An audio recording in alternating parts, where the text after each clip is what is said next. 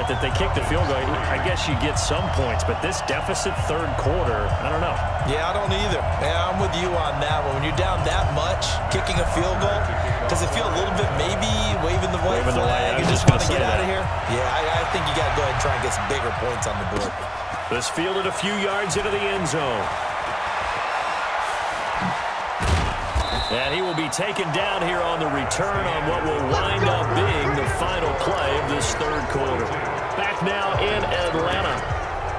this is a blowout so far as we get set for the fourth quarter. A very one-sided affair. So Prescott and the Cowboys now with a first and 10 at their own 13.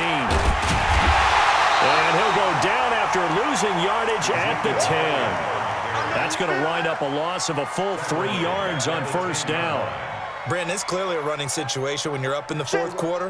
They're going to have to stack the box and make it difficult for them to move the ball. Made it very difficult right there. Now they need to repeat that effort. Yeah, bring seven, eight, nine, whatever it's going to take to slow them down. And he's going to be taken down. Sacked back at the two. Takk McKinley. It'll go as a loss of about eight as he gets in there to drop him. They'll need a big play here, will Dak and the Cowboys after the sack. It's third and long.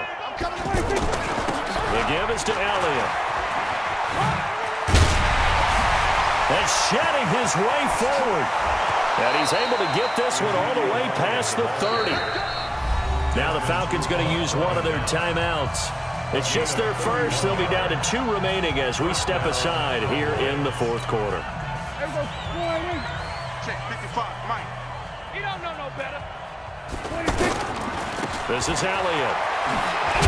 Oh, Elliott going to be hit. He coughs it up. Loose football.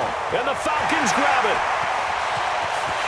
And he gets in. Touchdown, Atlanta. And at this point, after that return for a touchdown, I guess the only thing is you're asking what else could go wrong.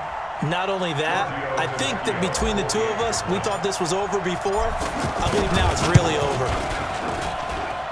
Extra point up and good by Tavecchio as they make the score just a slight bit more respectable here in the final.